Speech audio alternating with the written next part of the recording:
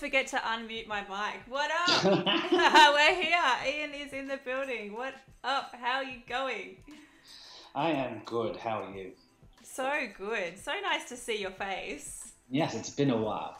Can everybody hear Ian okay uh, in the chat? What up, everyone in the chat? Uh, Ash, you were here so early. You got here like bright and early. Scarlett is here. Katie, what up? Nice to see you. I Spy cosplayer. Benny Chapman, really nice to see you here as well. Sydney, uh, Andy Brom, what up? So good to see you here. Joshy, Joshy in the building. So good.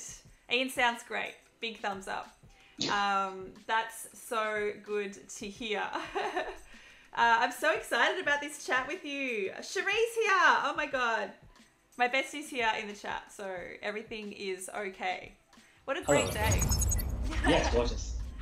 Um, uh, there was somebody that just followed and I missed their name, and I don't think my latest follower has updated yet. So whoever that person was, hello. Jazz Meadows has just uh, joined the chat as well. What up, Jazz? It's really good to see you uh, in the chat. It feels like you know. Usually we'd see each other in the pit, and now we only see each other in my chat when I stream. Oh, we've got a raid! Oh, we've got a raid! Midnight. I don't know anything about this. You have to explain this. Okay, so the homie Midnight Rush, uh, Mm-hmm. who was just streaming, is basically bringing all the people from his stream and dumping them in my stream. So Right. it's very Okay. cool when that happens. Hi, Rush. Nice to see you. Hi, everybody that was in Rush's stream. I saw that you were doing a test. Yeah, I did see that. Um, hope the test went well and everything is looking and sounding great. Uh, yeah. Oh, yeah, cool. You were using that new audio thing, I think, that um, Shu showed us the other day, which is cool. Thicky's in the building. Matt Hickey, Thick Daddy, Thick Van Dyke. So good to see you. no more crappy music. Well, that's what we like to hear, Rush. Uh, we're joined uh, with a really amazing friend of mine, Ian Laidlaw, amazing music photographer as well. Um, very good to have you on the uh, on the show today. And amaz- amazingly, I'm uh, loving your locks. I was just saying, your hair is just. I haven't seen you in like how long? Five months? Uh, yeah. Probably last- longer. Mar- well, it was like March was the last time we were shooting shows. I think that was the last one I shot was back in early March. I actually think the last time I saw you was at like a zoo show that you were shooting. Yeah. I don't. I actually don't even know if you Oh, saw me that night, but I was um, there with Soci. Uh, I, Icehouse was playing. oh, you shoot right. that? Jeez. Yeah, yeah. So that was back in Febu- early February. Yes. Oh God. Yes. Uh, Matt, uh, Matt in the chat saying I started a stream five ten minutes ago. I had no idea you were streaming.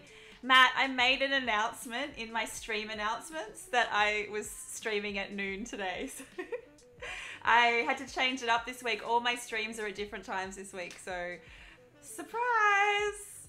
You don't know how to read. Okay. Well, uh, I appreciate that you're here. Oh my God, Watto's in the building. Buzz Buzz, it's your boy Matt Waddingham also here. So nice to see Watto in the chat.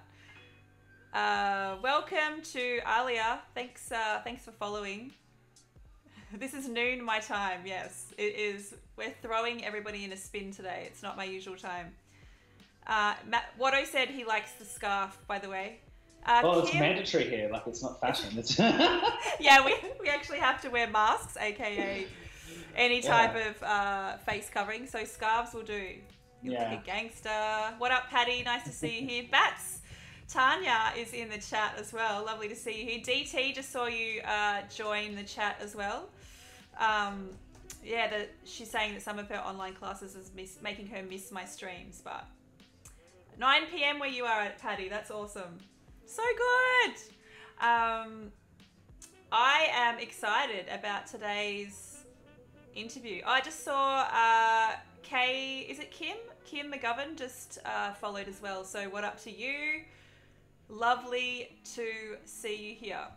We're going to pull up Ian's website. We're going to uh, get into this interview in a sec. But I really wanted to just wanted to say thank you to everybody that showed up. I know it's a different time, and I appreciate it. 10 p.m. your time, Rush. Let's go.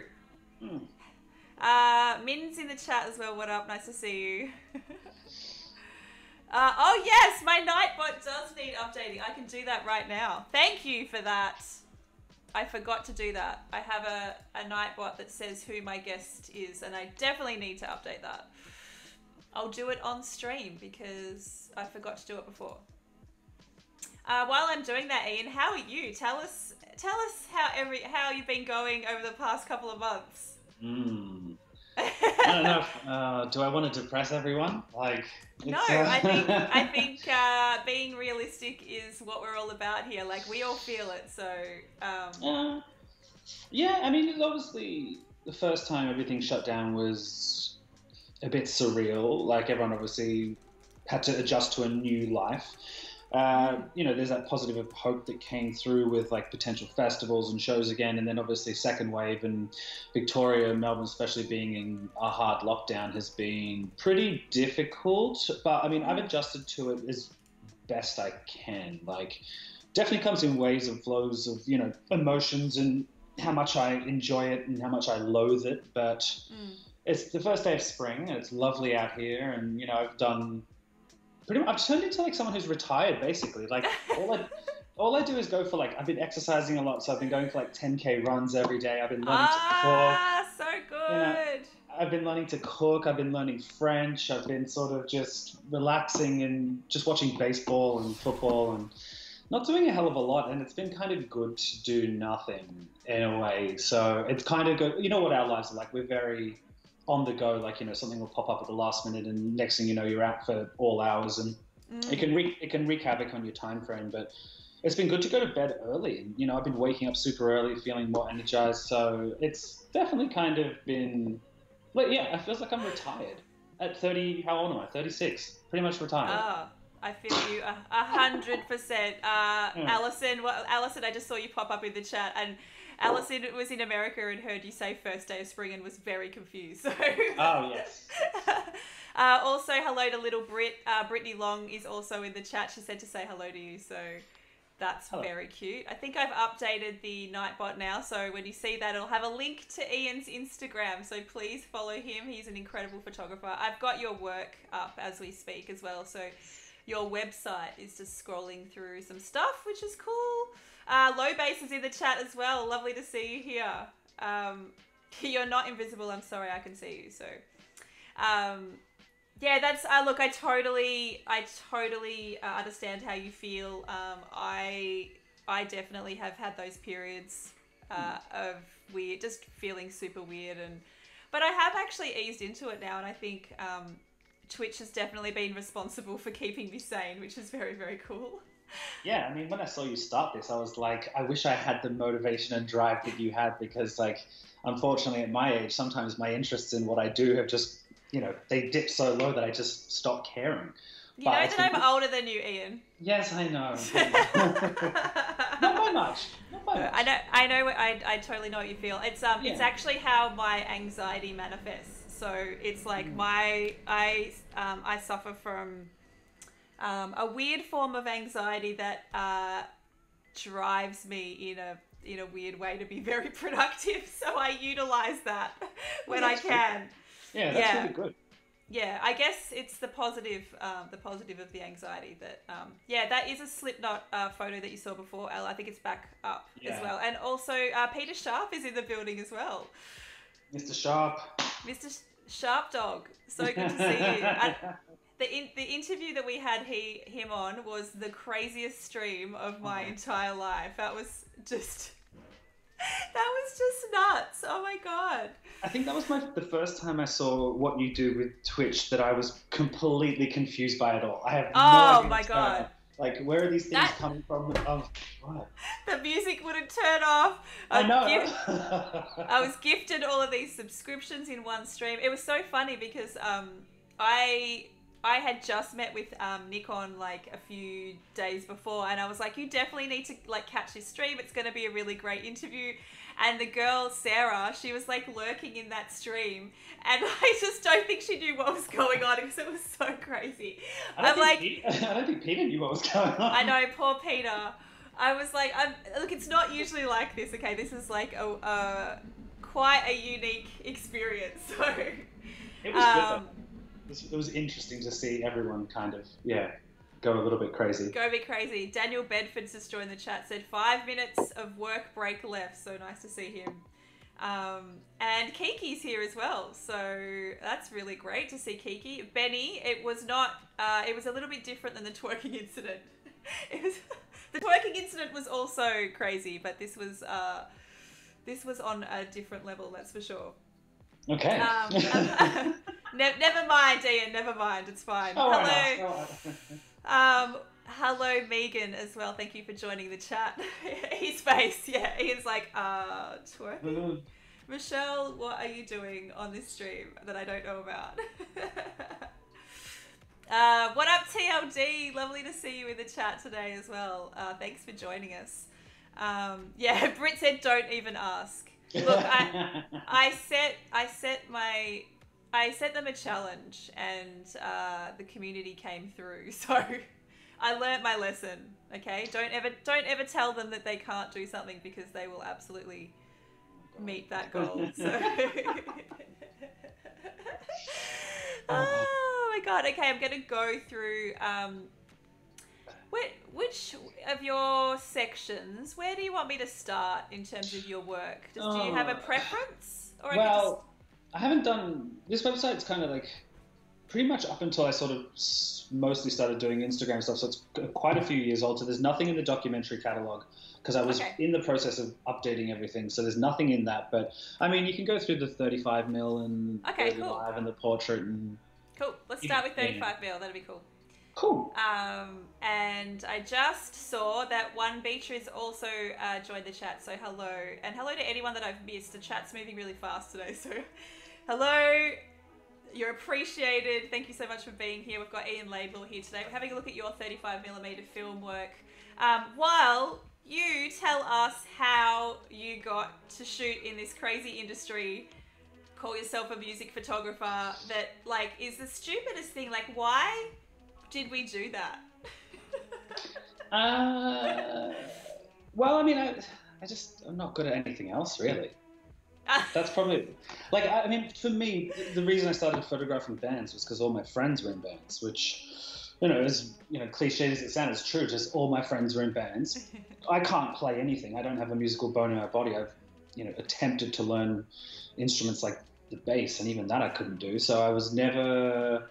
I never could connect my brain and my fingers between like anything. And I mean, I've always wanted to learn to play the piano. That's like the one instrument I've always wanted to learn but I could never do it. So you know, I was always around musicians, and you know, I would go to shows from an early age. I think the first show I ever went to was when I used to live in Fiji with my parents. I went to this reggae concert in the stadium, and I was like, I think I was 12. I was in year six there, and that was the first time I went to a live show. And then I came back, and a few years later, I was like, by 16, I could start going to shows. So I would, you know, go to these live shows, get into all, you know, a mess, and you know, I used to just love it. And you know, combining uh, a camera with that was just like the purest form of creative energy that I could handle. Like I was, yeah, I just kind of got hooked pretty much straight away. And I still remember very vividly the first show I ever shot, which was at Vic on the Park in Enmore in Sydney. It was my friend's band, and it was January 3rd, 2003. And I had a little Olympus 35mm camera, and I remember, like, you know, there was, you know, uh, just a little point and shoot I remember taking the film in to get it developed and getting the little six by four prints back, and I was just blown away. And, and like the photos are the worst in the world. Like I still got them, but they are. It was just from then. As soon as I started that and I got those first results back, I was just mm. hooked on the energy that I could capture with music. Like so, mm. freeze framing, like just freezing, freezing moments of energy. Like you know, because it was all guitar rock. And my friends were in guitar bands so that was kind of uh, how it started and then from then it was like five nights a week anytime there was a show like it would just be like go out shoot shoot shoot shoot shoot just i mean this is you know i mean close to 20 years ago now so was digital cameras were only just coming into the forefront where like you know the first like I think it was like the Nikon D2X, like a 4.2 megapixel camera, had just been released, and it was ridiculously expensive. And I was always very purist. I was like, I never shoot digital, like blah blah blah. Um, but yeah, I would just constantly get hooked on it, and then I'd just you know make friends with bands and just keep shooting, go up to different places, go to different cities, just constantly have my camera on me, and I never felt compelled to shoot anything other than music. So it was kind of, yeah, it was that sort of, it was the, it was that one thing that just hooked me. It's like you know, I just got into that. So you know, it's like finding a sport that you love, like Mm. one sport. You don't play every sport, you just play one. And for me, it was you know, music with my camera was how I started, and what 17, 18 years later, and I'm still doing it. Still doing it. Yeah. Well, I, I think you made the right choice, Ian. You're very good at it. Uh, it's I been, mean, it's, yeah. you are. It's like great looking at your work, um, and there's lots of love in the chat for you as well, which is really cool. Uh, what I just said, hot dang, that Camp Cope one, which I adore this photo. Um, What's that first ever press shot? First ever press shot, yeah. Yeah. And uh, I've told the story about um, the time that you weren't able to shoot them, and you sent me along, and hmm Did I end up Uh, becoming the cover of their record? yeah, it did. It's the crazy. It's the craziest story though, Ian, because like they wanted me to shoot Polaroids, and I'd never shot Polaroids in my life, ever. And uh, they, I was so nervous because you had always shot them and always done like you know them justice, and you had such a beautiful aesthetic with them and relationship. So I was really, really nervous about that shoot. Um, but thankfully, it did go really well, and they did use it as the, the cover of their album, so it did go well. But um, this is like I was kind of talking about this the other day about how friends in the industry that you have, like when you can't do jobs, you then refer jobs all of the time. So like having relationships with other photographers that are you know genuine friends but also that you trust to do a good job Yeah. is like actually really important Well, actually, it's funny because I remember another show that I got that I recommended for you because it came up with someone. I think it, you. were- I think Jordan Munns posted a photo of Post Malone, and I remember I got asked to shoot his corner show, and I couldn't, and I gave them your ah name. yes I said to. BB, I was like, make sure you get Michelle because she'll kill it because I knew that you already had like an affinity for hip hop, and you know, Rise was out, and I think I'd already had a copy, and I was like, yeah, if you want anyone, get this, get this person, she'll slay it. And then I remember thinking. I remember thinking like later on, actually, I was like, oh, damn, I really should have shot that. I don't Uh, care. I, I'm not precious over that stuff, but you know, No, it's just that's uh, that's hilarious because that particular. Um, I've also told the story about that particular uh, touring company black banning me not long after that as well. So what? thanks, thanks. Did you not? Did I not tell you that story? No. Oh my god. This the lessons in what you tweet uh, publicly. But I tweeted. No, I actually replied to a tweet. Um, I like to be. I actually like to be really open about this stuff because it like it shows you that people are always watching your social media presence, and I have toned down a lot because it definitely has got me in trouble being uh, a bit of a loudmouth on Twitter. But um, this is actually wasn't even something I tweeted. I had replied to a tweet of a friend of mine who had tweeted, "What is a post Malone?" And I wrote back, "Someone that needs a bath," because I thought that was hilarious. I mean, he looks like he needs a bath. Let's be real. I mean, where's the lie? There's none. You know. But Call, um, call a spade a spade. It's fine. Uh, it wasn't long after that particular show and that particular promoter saw my tweet and uh, not happy with me. ah, fuck it. Whatever. I mean, yeah. You live and you learn is what I say from that. I mean, I apologized. I removed the tweet. Was like, I, I like, I get it. You know, probably wasn't the most professional thing to say. Was funny though. So Yeah, I mean, I'm sure he's not going to lose sleep over it. Like, you know, I don't think it's going to affect ticket sales for them. You know, it's like, Like- just relax, people. Just exactly.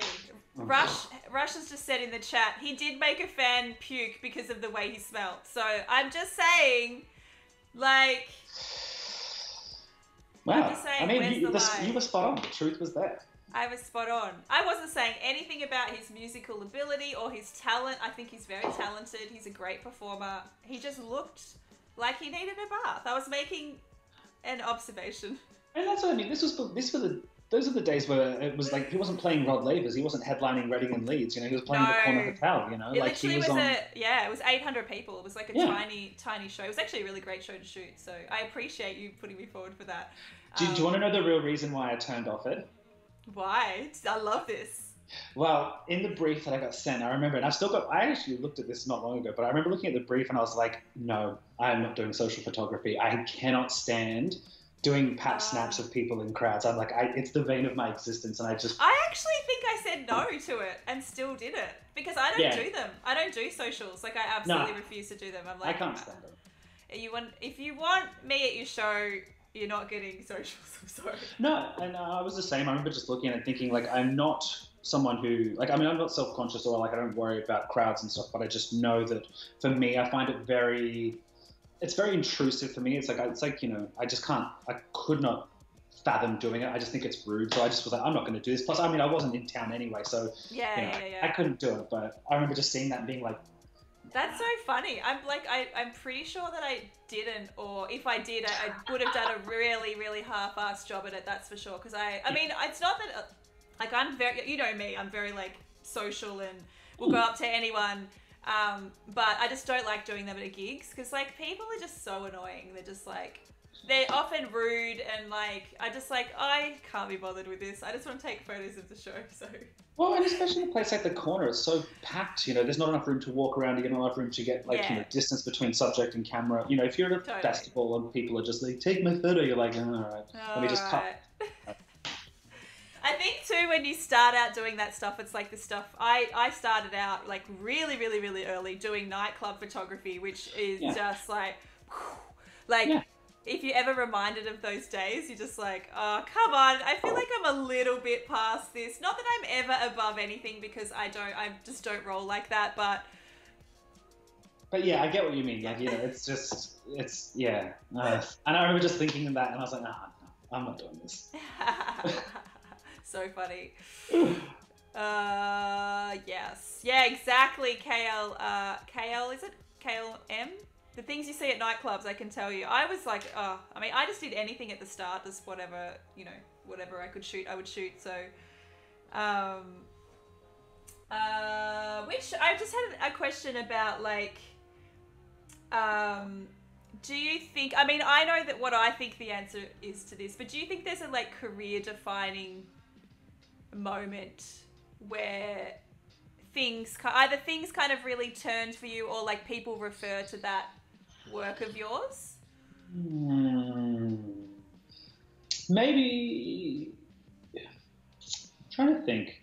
I mean, personally, for me, I know moments of getting like opportunities really helped me personally, but maybe in terms of like defining things. The first big thing that I think was really big for me in terms of like I guess maybe just people seeing it was when I did the first Leon Bridges run Yeah, I'm just for, looking at that Rolling um, Stone. one of well, I don't know if it's the first one, but I'm looking at one of your black and white shots, and I would have said that as well. I feel like that was Yeah. a real a moment for you. Yeah, because I've been shooting a lot already, and I was already working for, you know, I'd already been shooting festivals and stuff officially, and you know, touring with bands and whatnot. But I think that was like the first one that was like, for it was like, you know, for for years, like growing up, like I remember, Rolling Stone magazine was like my, I was like my bible. It was everything to me. Like mm. I loved it. I always wanted to get, like I remember thinking years and years ago, like you know, early two thousands when you would open up a, an old magazine, they used to have the names of the photographers in the spine really, really small. And I remember thinking to myself, if, if I can see my name in that little spine one time for a photo that I've taken, that's it, I'm done, I quit. Like, I don't need anything more than that. That for me is a validation of my, like, my, my I guess, my drive to get to a level that I thought was, you know, attainable. But I remember the first time I saw my name in Rolling Stone, it was like, this. It was massive. It was like that, and it was that. I mean, I'd had a few photos published in there before, but none were ever credited, which, much to my annoyance, but that was the first time I think seeing my name, like not only in the content piece, but then big in the actual like photo essay spread that we did. I was just kind of like, all right, this is this is kind of cool. Like, I think I bought a few copies for my mom as well. Like- Yes, yes, Um, yes, yes, yeah, totally. was, yeah, I think that was definitely the first, first like sort of big thing for me. Yeah, I definitely think, and like, um, I agree with everything that you said. Like, you were very well established by that point, Hmm. but it really, I don't know, not, I, I think not, um, it was like a stamp, you know, like not only Yeah. was like the work was exceptional, um, I think it just made anyone who like I mean everyone already knew who you were, but everyone was just like, holy shit! Like this is this is like next level. Well, I think too, considering how he like who he was as an artist and how he stepped up, and then you know. Hmm. In, the, in like the months later, he was performing for like you know President Obama, and he was winning Grammys, and you know it's like he had stepped up his career even more so, you know. So I remember when I first pitched the idea to the promoter, who's a friend of mine, and then got in touch with the record label, and then got in touch with Rolling Stone. It was just kind of like all the pieces fell in really naturally. And I remember I heard he was coming out for Falls Festival, and I think it was, I think he was on like three in the afternoon. Like it wasn't a big slot or anything like that. He was still quite uh, unknown, but he had released a couple of singles that I caught wind of and. Um, like jazz and blues and soul music is something I've loved for a very, very long time. And I remember thinking, wow, this guy's got a really good sound. He's got a really clean image. Like, imagine photographing him. Imagine if he ever comes to Australia. And I caught wind of that. And I was like, let's see if I can do something with this because this, I think his image suited my aesthetic. And Totally. yeah, and it all, and then it all fell into place. And I mean, I still look back at those photos, and the first tour was great. Like I did two subsequent tours after he came out with them, and that was really cool. But it was that first run when he was doing like Billboard, he was doing Corner Hotel, like it was still small stuff. It was his first run, so Yeah. that was uh, yeah, that was that was really fun, and it was good too because I didn't know him. I didn't know his band. I didn't know his management. Like it was, it was like two random people coming together and saying, "Let's try and create." And you know, one of my favorite images of all time is him dancing uh, in an alleyway by himself, and it's like it's the only photo I actually have it printed in my house on the wall. I don't have any on my work. Oh. Is that um, in your portrait section? Like, can we have a look at that photo if I pull it up? Um, yeah, it should be in the portrait section actually. I'll pull it up. Let's see if we can. Uh, yeah, we can see it. Um, him dancing. I'm going to look for it, and then I'll go back through these shots later on. so I'm trying to think of where it would be. Oh, I'll just scroll through. We'll go through these again anyway, but um, I'll do a little. I'll do a little fast scroll. Yeah, it's, it's- trying to think if I even put it. I should have put it in there. It's definitely on my Instagram somewhere. Like I said, this has been so. Oh yeah, maybe I'll go to your Instagram while we're doing this. I'll see how Um, far down it is. Uh, you, you touched on something really interesting then, but like about walking into um, walking in somewhere where you've never met people before, like the band and all that sort of stuff. So, um, how do you usually deal with that? Like, because that's something that if you've never dealt with that situation, it can be actually quite intimidating. Yeah, but I mean, I've, I've been a talker my whole life. Like, I can get along with anyone. You know, I'll always find common ground with something. Like, Is I've got. this? Is this the shot that you mean? This Mm, is. it's in um, that same sequence, but I think it's okay. further down. Okay. But I mean, that was part of the same. Yeah, the same moment. Yeah. Just trying to find where the hell I posted it. Like, I know it's somewhere in there. That's Probably ages away, but. Um, alright. I'll scroll. mm, It's great seeing all your work. Yeah, it's fun to look back on sometimes. I mean, I get so bored of it. I'm sure, like yourself, you know, you get sick of looking at your own work so often. You just kind of go, oh, "Yep, yep." Especially at the moment because there's no new stuff. I'm just like, boring. I shoot something new for God's sake. Tell me, I don't know the last time I picked up my camera. Uh, I actually had to um, this week because uh, Nikon sent me the new Z5, so I had to like I, do some practice stuff for the workshop that I'm doing this week. But other than that, I haven't shot that much. I saw, I saw that you're doing that on Thursday. Thursday, come Nice. hang, come Yeah, hang. I don't know. I'm gonna have to check my schedule. It's Ah! pretty hectic at the moment. Like Back to back shoots. in between French lessons and walking 10k's a day and learning to cook, I'm like, I don't know if I got time for this. But no, I love that. Um, I just saw I just saw that Nate Hill has just entered the chat as well, um, and he said love both your work. Uh, I just bought one of Nate's prints, and I'm so excited because it arrived yesterday. Um, I can't find this photo, so It's I'm gonna de- go. and I, I found it. It's in. I posted in February 2018. So further down, further oh, further down. down. Okay, okay, okay. Yeah. I just really want to show this photo. Keep going down. Where are we? Not that one with the sunglasses. Uh, No, you'll be bit behind me. Oh, that's Aloe Blacc. That, uh, Oh, it is too. Oh my god, that's so racist of me. I can't believe I did that. That is okay, so it's a few more down. So keep going down. this this one. I bet you.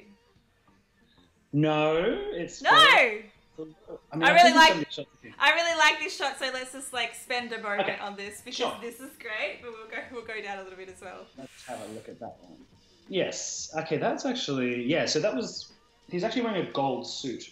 In that, it's actually Oh. really really nice. But um, I remember we'd had we had lunch and it was after sound check, pre doors, and I remember we were just walking around the back uh, back streets of Chinatown, and it was me and the Sony publicist Crystal, and um, we were just chatting, and um, you know I was just shooting him like against the wall, like looking very you know how he looks very stylish. Yeah. And then and then we were talking, and um, he mentioned that when he was growing up, he wanted to be a backup dancer for Usher.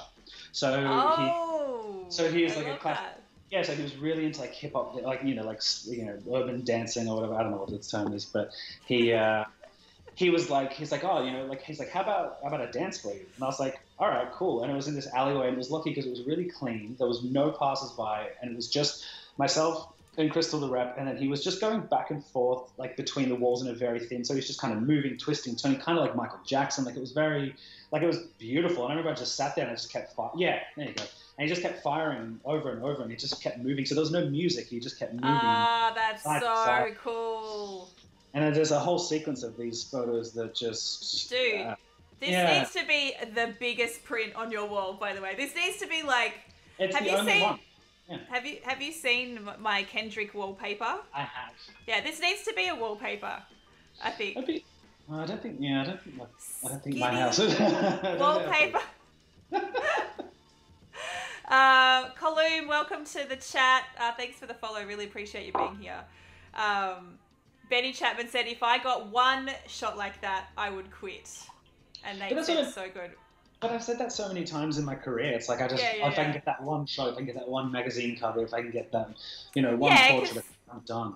Yeah, and then you get it, and then we all have new goals. I know what. As soon as I reach those goals, I have like another ten. That's But how it- my brain works. But I think that's a that's a good part to get to. It's like it's not settling for something that you know might take years to attain, but then once it's it's like great. So I've gotten to here. What am I going to Yeah. do next? Like let's step up. Let's Yes. keep going. Like Constantly evolving. I'm Yeah. never satisfied. Like it, you know, um, there's just like I don't. There's not like a level of success for me that is the ceiling. Like there's always something that's Yeah. further in the future. And Ash has just asked you, uh, what are the, what are your goals for the future? That ties really nicely into what have you what do you haven't achieved yet that you'd like Mm-hmm. to achieve? I mean, believe it or not, the other day I was going to, uh, like, in the midst of, you know, it was still winter. I had this, you know, Brian Duffy moment. I don't know if you know who he is, but he's this old-fashioned photographer from London who was part of this, like, very successful, you know, new wave swing photographer movement back in the '60s, and he got to a level where he was thinking about what he wanted to do next, and he couldn't think of anything and he took all of his negatives into his backyard and just started setting fire to them. He's just like, I just don't, I don't need to do anything more. Oh, And it's not- But someone actually came and smelt fumes, and they went out and put them out. They saved half of them, but he lost so much of his work. And I could, Oh. I could oh. relate to that moment because I was like, I'm just like, what do I want to do next? And I couldn't think of anything. I was like, maybe I'm done. Maybe I don't need to do anything more. Like I thought about what I've done in my career so far, and there's not really anything or anyone left that I like like would sort of kill to shoot. I like to work very naturally. Like if it happens, it happens. So I don't really set myself anything more than being content and knowing that I enjoy what I do. So having enjoyment with what I do is first and foremost because you know once once I made the leap from part time into this is my profession, this is my career, this is what I pay the rent with, this is what I support myself with, this is how I live. There are times where it becomes so rudimentary that it's just like going to a regular day job. You know, like I'm pressing a button to make money. So sometimes creativity gets lost, and you end up finding yourself going, well, am I satisfied spending all these nights out? Am I satisfied spending every weekend away? Am I satisfied not being like being away from my partner or my family? And I mean, you like the last what year and a half of your life, you've spent so much time away. You know, Yeah. you must know exactly what it feels like to be away from your, you know, just even being away from your husband and being away from home and your dogs and your friends and you know, every day can be like Groundhog Day. So you get a little bit like I mean, I don't want to. you know, I don't want to be resentful for what I've done. Like I'm very proud of what I've achieved. So I think for me, the future just is very obviously uncertain for all of us and I think I just want to be happy. Like I just want to, I, I just want to enjoy taking, like creating, doing stuff. Yes. That's kind that's, of it. That's yeah. Yeah, yeah. That's really interesting because I, I don't think I've ever got to that point where I felt like it's a job. Like I genuinely really love every day. Like even even with the slog of stuff, like I think because you know I also started photography quite late and had mm. gone through like you know the corporate rat race and knowing understanding like the 9 to 5 to me is a prison like that is that is my definition of hell so for me now like every day is like a blessing so i guess even in the most mundane mundane situations like i do try and look at like try and be really grateful and yeah positive because i think that the alternative is like I mean, the worst yeah. Well, I think so too. And you know, like like yourself, I spent many years having you know warehouse jobs. You know, mm. um, I'm actually a builder by trade. Like I did my building trade with my dad when ah, I was 16. I so yeah, so like I mean, it's not something I've done for a long time. But you know, I'm sitting here in moments of not knowing when we're going to tour again, not know when I can shoot again. I'm like, maybe I should pick the tools up again, or maybe I should try something else. And you know, my my brain has definitely gone a different direction in terms of what I want to do uh, with my camera. Like uh, out, outside of touring, I haven't shot live shows for, I mean, probably, I'd say in about a year, I probably shot maybe a dozen live shows, which I would have done that in, you know, two weeks, years yes, gone by. Yes. Yeah, so yeah. I've obviously stepped outside of the live stuff as much and concentrated more on my documentary, reportage, and portrait work, which is yep. what I want to do. But yeah, um, yeah, I mean, ultimately, at the end of the day, it's like there's no like Rolling Stone cover anymore. Like that kind of idea, if it came through, we got like I mean, I'd never shot in like the NME when I got that cover was great. Like when I saw yours as well, it's like for me that was like yes, like that was something that I would have killed for in the old days because I had. I mean, I still I don't know where they are anymore, but I had about seven, eight hundred copies of NME and Rolling Stone that I've been buying since the age of 10, 11. You know, like pull, these. Pull up your yeah. cover. Yeah, I mean, uh, these were these were my Bibles, you know. Ah, you've gone past it. I did go past it, yeah. Um, we shot the uh, uh, successive covers. Yeah, yeah.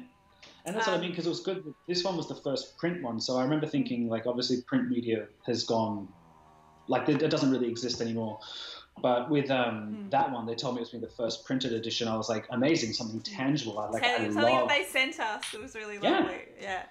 But I mean, um, like I um, remember, yeah, having a, my photo on an NME mm. cover was just like, I mean, I would have given anything for that five, ten years ago. So, but, but getting it now didn't make it less important. It was actually still very yeah. nerve wracking and exciting. Like I still get butterflies when I shoot. So I'm like, you know, it's not like I've yeah. just gone, cool. But yeah, I think, you know, I always wanted a Rolling Stone cover. I don't know if that'll ever happen, but if yeah. it does, that'll that's be cool. Still, that's still on my list. Rolling yeah. Stone cover and I mean that's it. Like I've toured internationally. I've done stuff with you know high profile clients. I, like I've, I, I don't really have that one thing that's like. If anything, I'd love to just get a portrait of Tom Waits. Like that kind of be like the only thing I would probably I'd probably give my uh, give one of my I'd probably give my pinky toe for that actually. But um, oh, yeah. hey hey Shu, lovely to see you in the uh, chat. Nice to see you here. Um, yeah, I look yeah I yeah I think I definitely still have bucket list artists, and I mean, most of them are like you know international. Uh, Kendrick Lamar, who you have shot because you did that meet and greet and got that amazing portrait of him, which yes. I'm like so jealous of. That was actually really um, funny too because I was I did two nights with him, and the first night it was just I wasn't even allowed to do a test shot with him. Like I couldn't do yes. anything. I remember and you telling me that. Yeah. But his um, his personal photographer, Chris Parsons, who's a buddy of mine, like we were actually chatting the other night about a bunch of stuff. He was saying on that Kendrick tour, that world tour he did, that only six other photographers in the entire world got to shoot Kendrick, including festivals, everything. He said it was so strict. So tight, yep. Which was cool. Like, I mean, that stuff for me was great, but I remember thinking, I know other people who would appreciate this more than me. Yeah, yeah. I would have been one of them. I love that so much. Um, yeah, I mean, like, yeah, there's a few. I mean, most of them are like, you know, my favorite rappers. So, um, but like, you know, I I really resonated with what you said about being happy as well because I like, you know, that that's what the Rule Project stuff is for me. Like, that is like my definition of happiness and being in a team where like all of the visual decisions. Like I'm part of that creative process. Um, you know, we do everything together. Um, it's like a family, and it's not just it's not just the press shots. It's you know it's end to end stuff. So it's like all of the live shows, all of the touring. Um, so you just become like it's it's just like a big creative family, and it's definitely the most fulfilling thing that I've ever been involved in. So that I feel very content and happy with that, doing that particular work at the moment, um, and and potentially getting to do that with you know other artists in the future would be pretty amazing because that's that to me is like the ideal situation for a music photography photographer to have that type of relationship with the artist and the team. Yeah, hundred percent. Like it's that collaborative work that you're, you know, you're using your creative vision to enhance theirs. You know, they've obviously got theirs. You know, whether it be like you know the, the, their live show, their, their music, their songwriting. You know, it's complementary of each other, which is why you see so many artists stick with like single photographers because they either understand their vision or they work with a they work within certain parameters that actually benefit the artist which is you know you hear a lot of a lot of artists these days at festivals will be like nah i've only got one photographer and it's like just this one person that's because they've established a trust you know and Yeah. that's um, Oh yes, I would love to touch on that actually about that trust element because like I think that's really important. That is why photo- um, a lot of artists are going to banning other photographers and Yeah. just saying I'm having my person um, because we've seen so many incidents where music photographers I think forget that these artists are human Yeah. and um, you know will post ridiculously unflattering photos and like that's what creates this type of environment because at the end of the day they are human and if you post a really shitty photo of them that is like quite obviously not flattering um, that's going to affect how they see like pit photographers and um, press Oh, photographers 100%. I mean, that's the whole, you know, the whole, that's what happened with Beyonce. That's why she started culling photographers because there was that one very unflattering photo that became a meme. And it's like, well, no one wants that of themselves in their public eye, no matter how thick your skin is. You just want to, like, if you can control the image. And at the end of the day, too, I've, I mean, the first time I remember thinking bands or artists were stopping photographers, I was like, oh, that's a bit shitty. And then at the end of the day, I was like, no, like, who wants 40 photographers staring at them from 10, five feet away with their cameras? Like, you know, I'm not that special. Like, you know, I, do I deserve to be there over someone else? No. Like, if it's just, yes you know, if if a if a band wants to go, I want free reign to connect with this 10,000 plus audience who have paid to see me headline a festival. I don't need 40 men in, or 40 people in yellow vests, you know, getting in my way. Like, it, it, I understand it can be distracting. So I could not agree more. And I, I remember, I think one of the first artists that, oh, who was it? There was like a really strict, um, you know, uh, photo release thing that came out a few years ago, and it was being passed around photography circles, and everyone was losing their shit. And I was the only one going, hey, I actually understand this. Like, I actually understand why, not so much the rights grabs, but like restricting photographers and being really strict. I get it. Like, when you work really closely with artists and you have conversations about how devastated they are because some photographer took like a shot that's like quite clearly almost like an upskirt photo or something Yeah. like gross or just super like up the chin, really unflattering. Like they're not thinking about these people are human beings. They um, they rely heavily on image as well. So like, why be an asshole and just like completely disregard? And I've had arguments where with people who will be like, my job is documentation. Like, I it doesn't matter if it's unflattering. Whereas I just like vehemently disagree. Like, yes, we're there to document, but like these people are human beings as well. It's like you know, don't, not forget not forgetting that that aspect.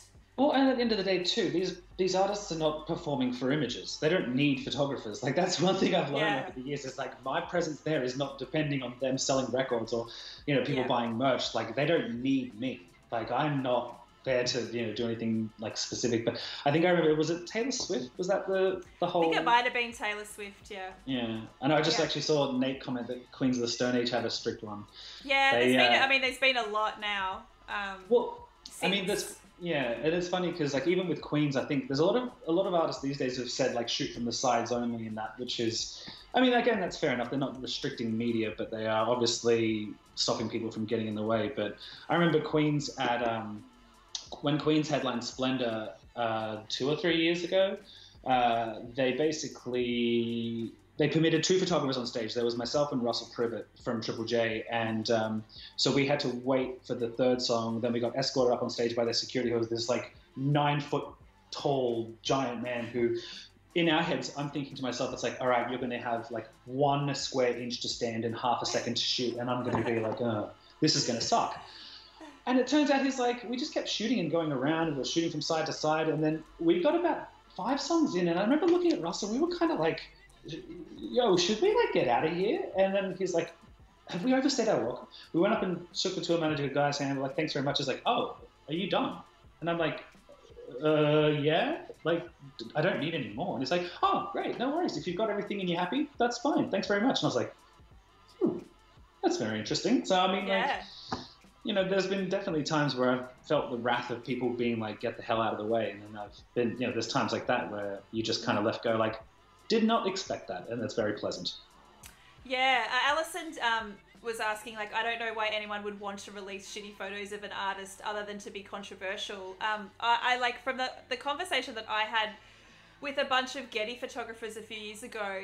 Um, I guess first of all, the what a shitty photo is to to these guys versus the artist was mm. actually quite wildly different. So like they would see something that maybe they thought was like you know an action shot or in moment but it's actually if you just look at it from the view especially of females was yeah. very unflattering like they just couldn't tell the difference and nor did they care so that was like they actually just didn't care like they were just like this is an action shot they might be like but i still think you can get passionate shots and be aesthetically pleasing at the same time and be like like flattering, if that makes sense. There's this actually oh, there's a skill a skill in that as well.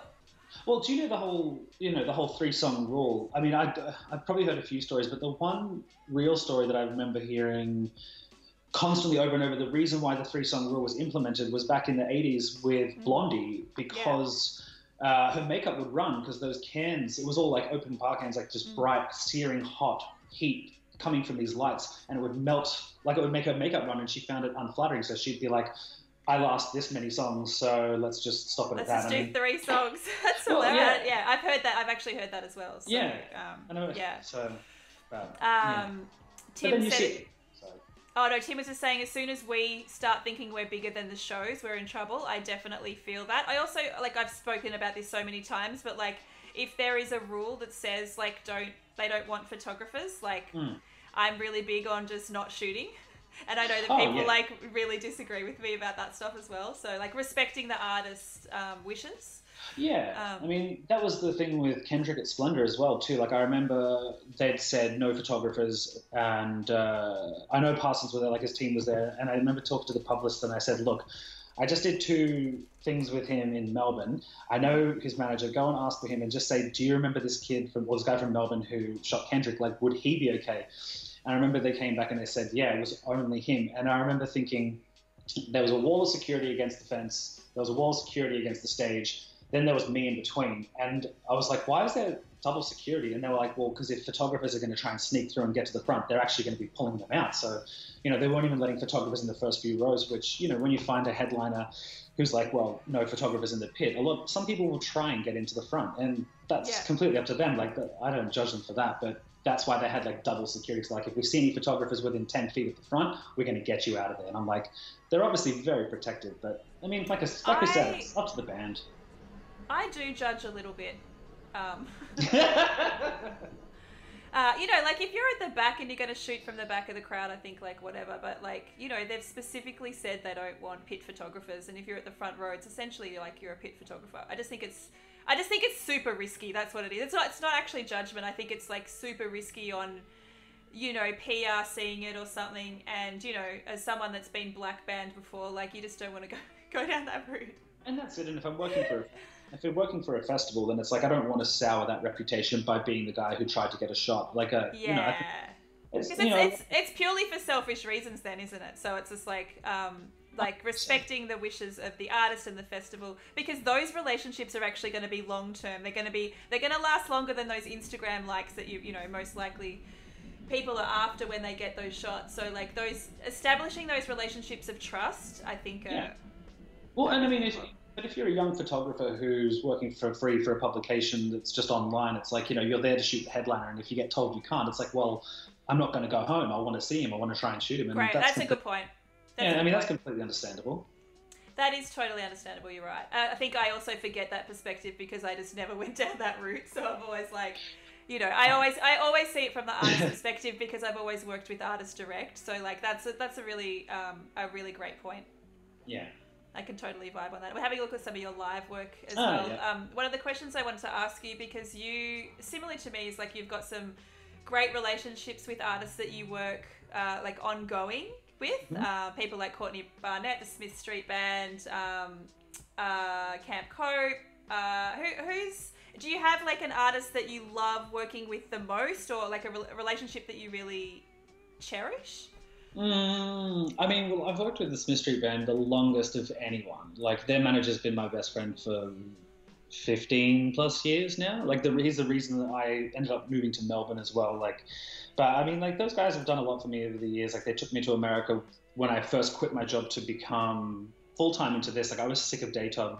So I'm completely thankful to them for everything they've let me do. And uh, yeah, I mean, they're definitely one of the strongest relationships I've had. But there's a lot. There's a, there's a few. I mean, like I've done a lot of stuff with Glass Animals over the years since the first time they've come to Australia and stuff, which has been really nice. You know, the and and even with Courtney as well. Like the first time I met her was for a cover of, a magazine, and then just became friends and would shoot stuff all the time. And you know, she'd just come around to my house and would shoot. And then I remember she knew I was a huge Patti Smith fan, and she was supporting, it, and she ended up like surprising me with a photo pass for that. And I was like, oh, Ah, like, you know, stuff, yeah, stuff like that's really really nice. And Yeah.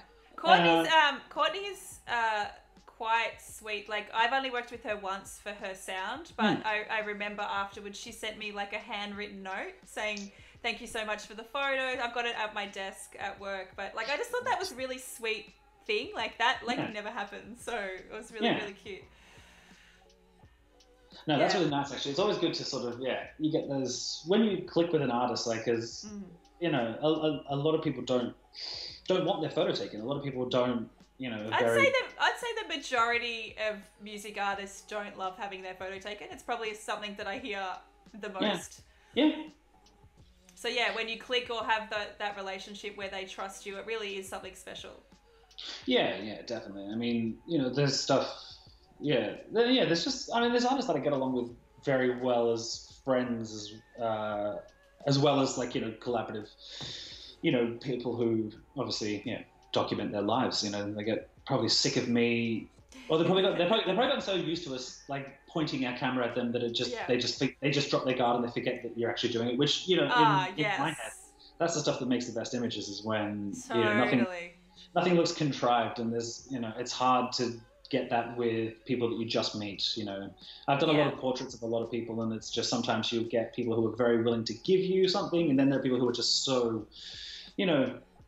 uh, They just don't really want to give you anything. They can be a little bit like, "Hmm, this is not what I want to do. And it's completely understandable as well. Like, it's just that, Uh, Connecting. Yep. Connected. So or sometimes they just can't be bothered. Like I've um, Oh, I've d- definitely had those assignments where you're going out for you know trying to shoot for somebody, and you know you might have ten minutes with an artist and. They're just not vibing it on the day. Like they just can't be bothered doing press. Like that's Yeah. understandable. And in those that those instances, like having those skills to be able to just know you can shoot something in five minutes and get something usable and get out of their hair, like that'll be appreciated because you Oh, yeah. just I really vibe off um, people's energy. Like it actually affects me. Um, so as soon as I sense that, I'm like, right, okay, got to get in and out and be gone. So Well, that's it too. Like, I mean, I think there was like the two times I think that I can like distinctly remember where it worked in my favor to be like you know not even pre-prepared, just to be sort of like you know instinctively quick. Was I remember it was the first time I did a run for Glass Animals with Rolling Stone mag, and their um, label manager, whose apartment I'm actually renting, he's actually from London. He um, they had to go somewhere and he had literally no time to spare and i was like i need to get a portrait for the double page double page spread and he's like oh he's like can you do it in five minutes and i was like i can do it in two and i did and we smashed it out and he was just like to this day he's like that's one of the best you know, moments of having a photographer Yes. who, who knows what they're doing, knows what they want, can get it out of a subject so quick that it doesn't sort of like, you know, push the rest of the their day out of day. way. But I it, love that. I love that. But I remember the last one was like Joey Badass. I did a portrait of him on his birthday, and I had this beautiful idea of like what I wanted to do and stuff. And he came in, and I think he'd had a few drinks, and, and I was like, "Oh, hi, you know, happy birthday! It's nice to meet you." And I was like, "Look, here's what I was thinking of doing." And he's like, "No, no, no, no, no, stop." He's like, "I'm just gonna be me, you be you, and let's get this done." And I was like, "All right, cool." And he ended up giving me some stuff really good, but I think I had ten minutes with him, and I think I did it in two. And I was like, "All right, I'm done." It's like Ah, and he's like, gave me glass, you know, cheers of champagne. He's like, thanks very much. I was like, go and enjoy. Like, that's phenomenal. but yeah, Um, it's just like, yeah, I like that kind of stories. Like, don't you don't need an hour with an artist. It's like if I've got something, I've got it. I don't don't. need to. Keep, I don't need to keep going. Totally. Um, I have to interrupt uh, this session for a minute. Uh, TLD has redeemed his channel points for me to change my outfit, which I, I need to do. Um, I'm also going to grab a water, so give me two seconds. It Oh will only take me two. You, Joe, yes, do it, do it. You Oh, guys and it- ent- entertain Oh, in yourselves. We're gonna have, we're gonna have, look, we're gonna have a little break. Hang on a sec. I'll put up my little. Hold, hold.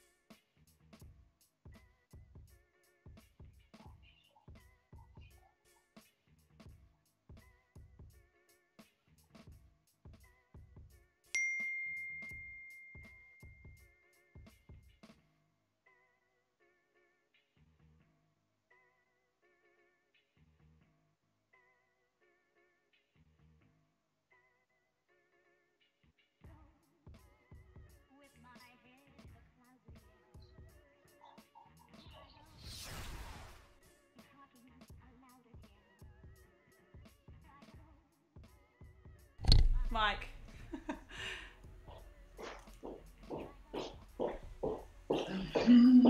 Outfit changed, guys. All right, Cha- I have changed. Okay. I'm back.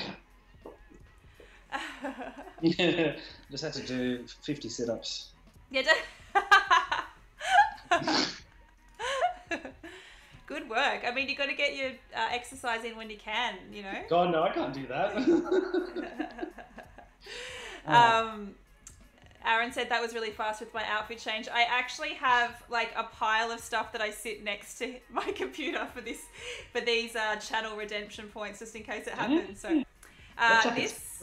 Thank you. This is actually an, ad, ad, it's an Adidas collab. I can't remember the um collab that it's with, but it's oh Whoa. sick. Hang on, I should stand up because it's like glamorous, guys, guys, Oh, guys. Damn. Right? Are we are we happy? Are we happy with the outfit change? Pretty. uh, it's uh, it's uh, Adidas. You guys call it Adidas. I'll find out who the um.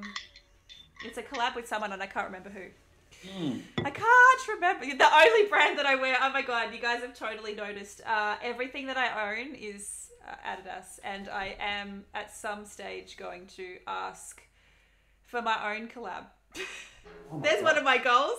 There's one. Of, That'd be cool. Imagine, imagine getting your photos printed on like you know jackets or shirts. Like that'd be pretty Low. Base just redeemed his. For, you know what? I have to have at least five minutes in this outfit because it's so, and then I'll change. And then I'll change. Give me five minutes while we look at, and I'll, I have another outfit.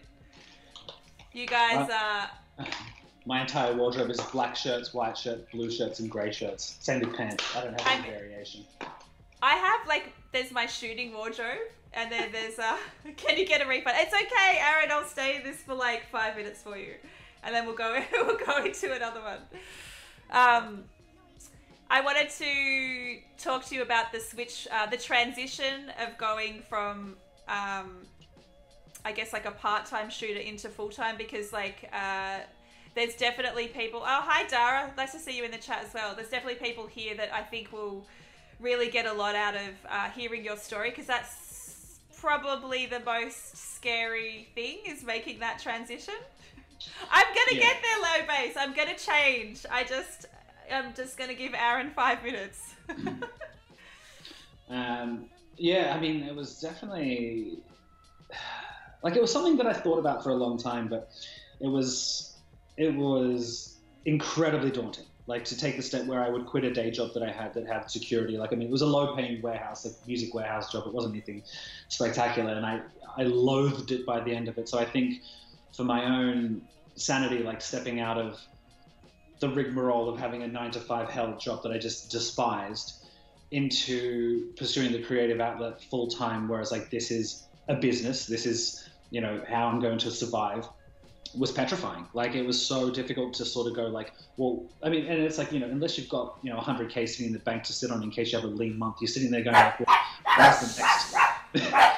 you're like, where's the next? Um, where's the next job?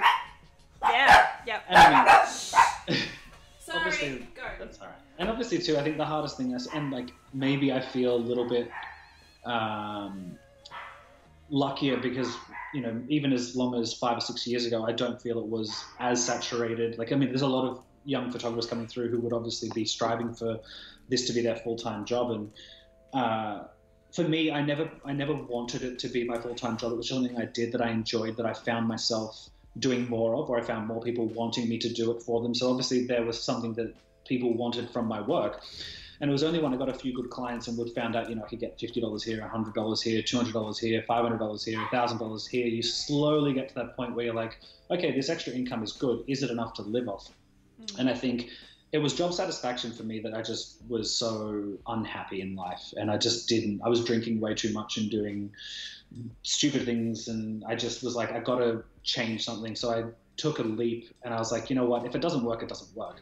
But I remember I quit, and literally, I think a week and a half later, I was on tour in America for three months, and that was awesome. But I came back with the biggest fear of thinking, I've been gone for three months, no one's going to know, no one's going to remember, like, who's going to want to hire me? And I remember the second I stepped off the plane, I think I was about home for about 24 hours, and then I got this big corporate job come through from a friend of mine who worked for a liquor company, and I was just like, oh, okay. I mean, that'll tide me over for a month. And then I was like, so I did that, and then all of a sudden it became like something else popped up. So it was very fortuitous to have people contact me for work, but it was definitely it's it's incredibly hard. Like having obviously a, a, you know money behind you for savings is is going to be beneficial for a lot of uh, a lot of people stepping up into that full time job. But mm. it's um, yeah, it's it was fucking scary, man. Like mm, really scary. You know, yeah. Yeah, and I mean, I, I, I, obviously now we're in such weird times. Like, who knows when we're going to shoot another show? But yeah. Um, but I, I definitely feel like when you take that leap of faith, um, I don't know, like things like I don't know if they fall they seem to fall into place. So they certainly did for me. Yeah. Uh, like you just um, just when like those times where you're just like, oh my god, I'm never gonna get another phone call, and yeah. It just something really amazing happens, and then you're off again. I mean, you know? and I, I don't want to sound defeatist and glass half empty, but in the same fashion, you think about the elites of say, let's just put it into perspective of say sports stars. You think about everyone who's playing AFL, rugby mm-hmm. league, or whatever it is for every player you see on that pitch, there's probably 500 people who didn't make it, who tried yeah. but didn't make it. There's going to be a lot of people who wanted it, who just couldn't get it, whether it be through injury, through passion, or whatever it was, something waned. And I, I definitely believe that people end up in the place that they're meant to, you know. Yes. And I might, you know, I might not be here for much longer. I might decide that it's time for me to pack up and or move down a different avenue. But I mean, yeah, it's just I think it's very. Mm. It's, I think having that fatalist viewpoint of we'll end up where we're meant to, and you know, to, like yeah. I said, and I mean, I know there's a lot. There's one very, very talented photographer based in Sydney who I met at a very young age who was very impatient, It's all he wanted was this to be his life's job. It's like I want this to be my career. I want to live off it. And I was like, just have fun. Like learn Yeah. to love what you do, and it will come. It will come. it- yeah. And it and it Yeah. did. It took him a few years, but you know, once he got there, I was like, see, you didn't need it when you were 18 years old, dude. You're 23 or 24 now, and it's like Yeah. you've waited. And it's like, yeah, it's having the patience. the patience and also like like it will not happen overnight like it, it just won't like you have like how many oh, i don't even know how many shows i shot before anyone like even gave a shit you know like you just like grinding and grinding and grinding and grinding just for so long and then at Oh, one point it just clicks you know Well, I mean, like how many shows have we shot for free? How many times have you like Oh. paid for flights to go to another city to shoot something that you just really wanted to do? You know, like Yeah. I mean, I did that for God. Like it took me. I mean, I wouldn't say I started shoot. I started shooting 2003, but probably would have been around 2008, 2009 was when I got really, really full on. But even then, it took what's that, six or seven years before I could Yeah. even get to a stage where I was like, you know what, I can live off this. And I mean, I don't live you know, I'm not, I don't have any money, like, I'm not rich, but you know, it took a long time. But that, the seven or eight years of hard work, of free stuff, of late nights, of touring continuously, like that never paid any money. It was like I did it because I loved to do it, and it got to that stage where it was like, you know, okay, life's going to pay you back in this way, and you know, Yeah.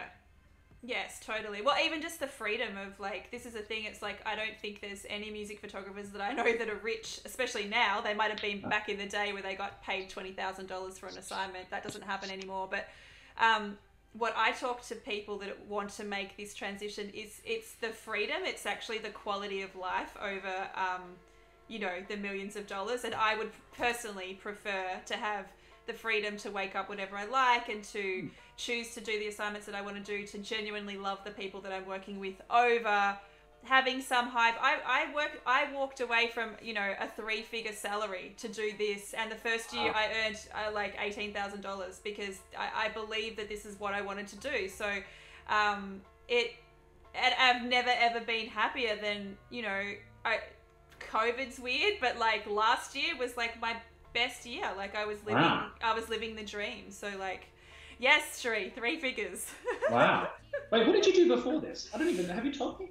Uh, the the the job that I did, um, like the corporate job that I did, I was actually working um, working in like an events corporate corporate management thing, and then I also worked in film, uh, which paid really really well, like in a production company. Uh, for Oh, a film, cool. it's like they pay stupid money for at the time me to do not Hmm. very much. So, but I worked really long hours, so um, the quality of life was like Yeah. but I no, mean- definitely not five hundred thousand, Betty. definitely not. Definitely, definitely not five hundred. But that's what I mean. And sometimes you think about what it's like for us, and people see what we do as a job, and they go, "My God, you're living the dream." I'm like, I'm living a life that could be a dream to someone else. It's not always a dream for me. Like, you know, I don't. I mean, I think I worked out before COVID hit. In the last two years, I was flying on average between 80 to 90 times a year. That was like every every four days, roughly. I worked out that I was on a flight. Like it was yes. Wow. it it was incredibly draining. Like it's Yeah. not easy, and there are times where it's like I just want to stay home with my partner, or it's like your friends are going out on a Friday night. You're like, well, I'm in Darwin or wherever. You know, it's like you just this is your job. So like it does have its perks, but it does have its pitfalls. Like yeah, the grass isn't always greener, so that's it's so just true. Yeah, and it's hard because I mean, like a transient lifestyle has suited me my whole life. I've always grown up on the road. Like I lived in other countries. I traveled a lot as a child. You know, it's just I'm fine with that, but Yes. it's it does take its toll. I mean, man, um, even now, like I said, like I've been exercising every day for like three weeks, and I've barely lost a single like bit of weight because I'm just like, ah, the body at 36 is just not what it is at 26. Yes, that's uh, try being forty-one. I, I feel you hundred percent. Yeah, but you don't look anything like you don't. You don't look, you look like you're 31. I hide it. Um, I need to do another outfit change because uh, low Well, base anyone- redeem. Give me two People- secs. Yeah, people can ask some questions if they Yeah, ask questions in the chat. Yeah, give me some questions.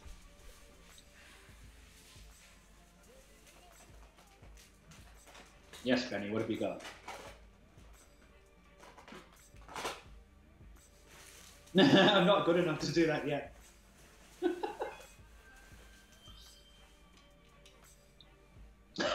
I've never used a Sony camera.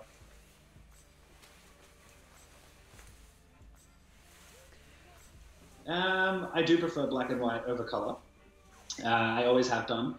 My favorite photographers, the, the, the photographers whose works I've always been drawn to were always always shot in black and white. It was always sorry, I just saw a photo. I saw you. uh, yeah.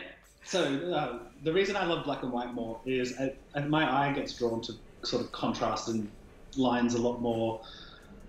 Uh, I, I, don't, I don't know if it's different to other people, but I just find because life is in color, for me, black and white has always kind of shown the flip side reversal of what it is to sort of, you know, I, I just I, I, I think it's something that for me works better. Like I, I like tones more. I think it's just yeah. I mean, if I could just shoot everything in black and white and on film, I probably would.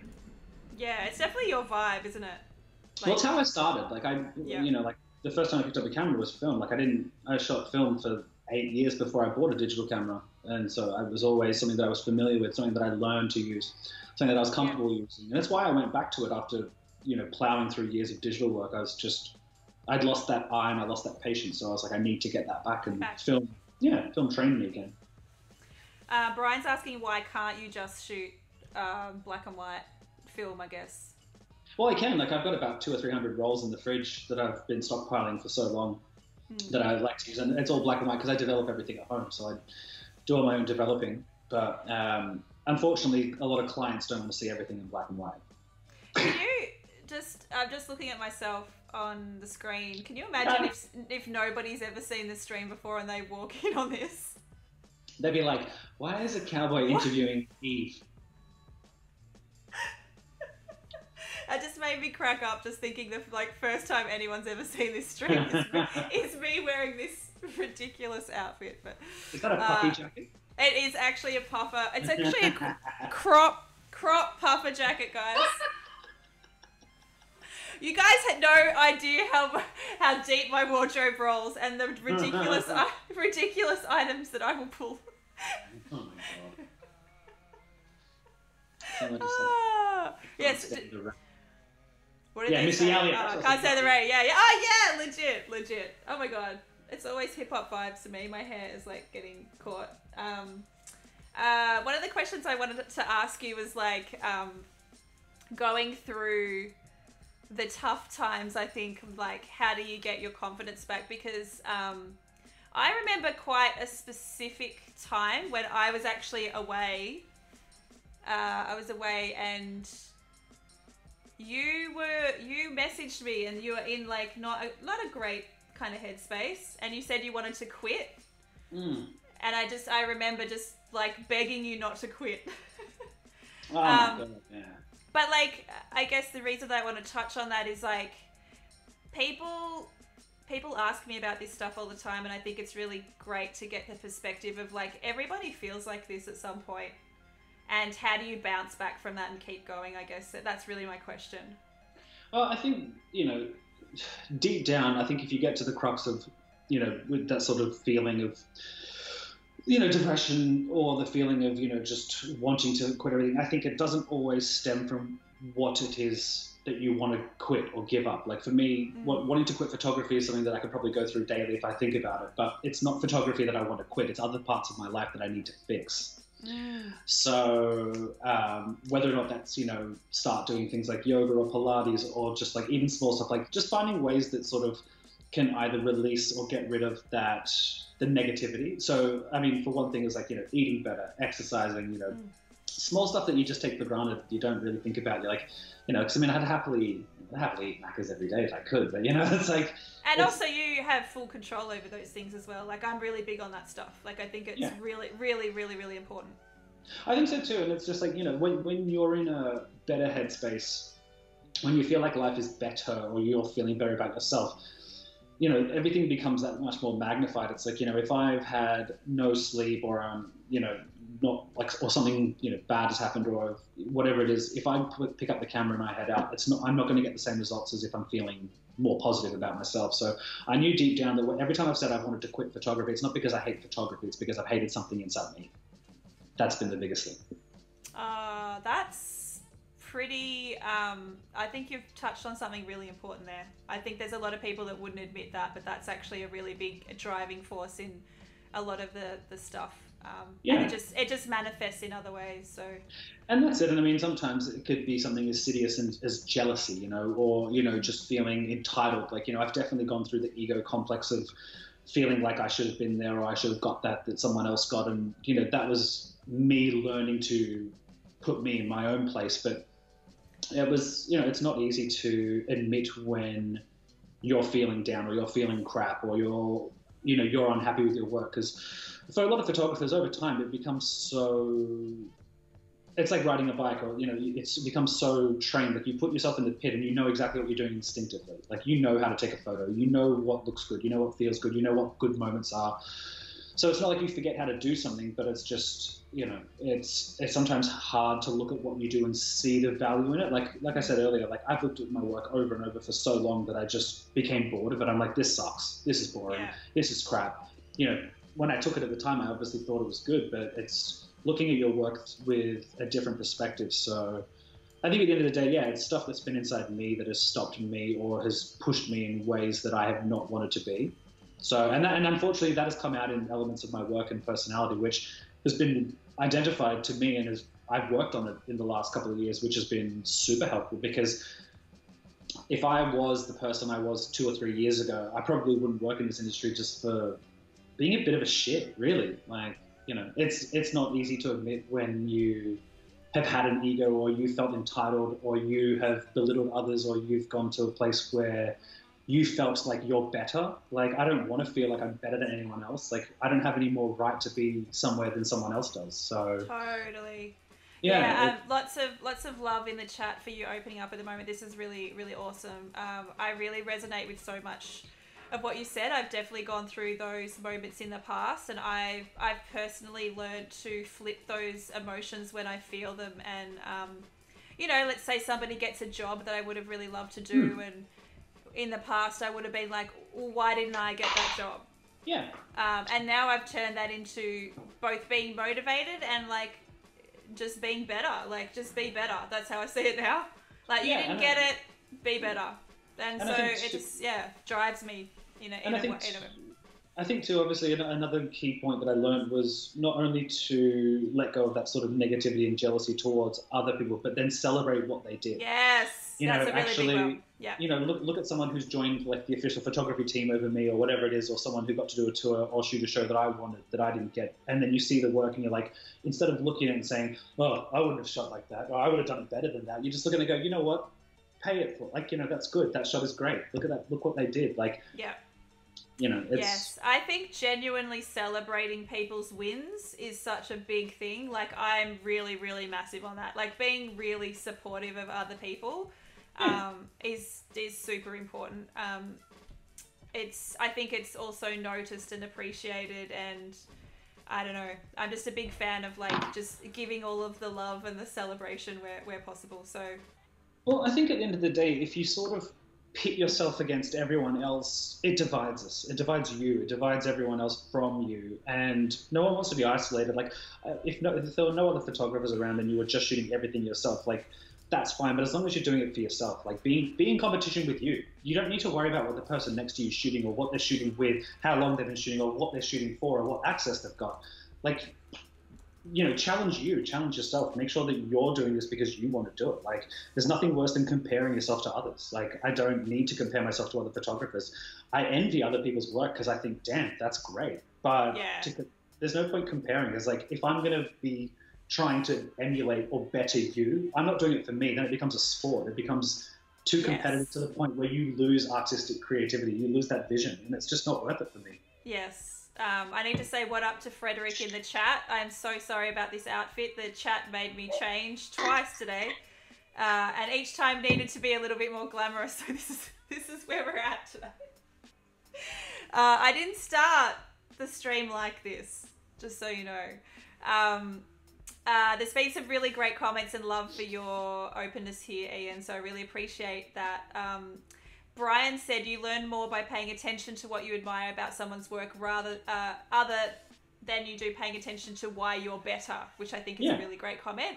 Um, Rush said, for me, other people's happiness is so contagious that I get genuinely happy for them. I completely agree with that. That is me 100%.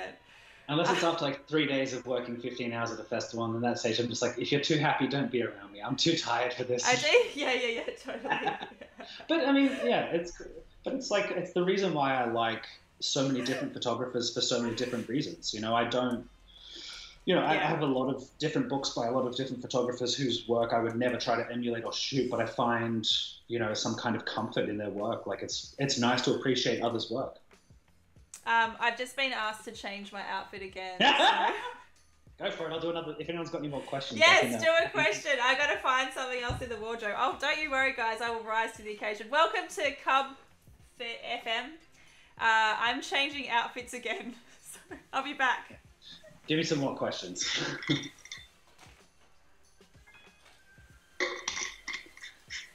I can't help but be optimistic. Ugh, I wish I had that. Hello, Parks.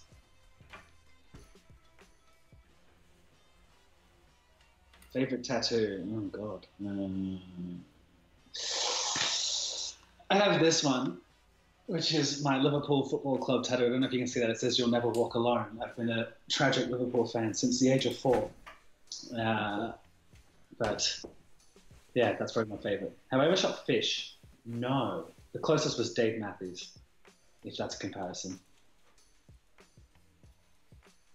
Hey, lady, hope you're great. Love you to a husband. Hello, Brado. What up, fam? Tottenham all the way. I'm sorry, Midnight Rush TV. I have no beef with Tottenham. Yeah, I. have. Digging the long hair, Dan. Yes, I know. I haven't been to a. These I'm are a bit reflective. Hang on a second. Take these off. I love the questions that you're getting. Yeah. Oh, Thomas. Hello, Tom. Uh, what up to the two new people? There's oh, hang on. Tanya's just trying to call me on FaceTime while I'm streaming. Tanya. Bats, that's hilarious. Uh, yes, guys, I have got the the uh, faux fur out for you. Harris Hilton just arrived.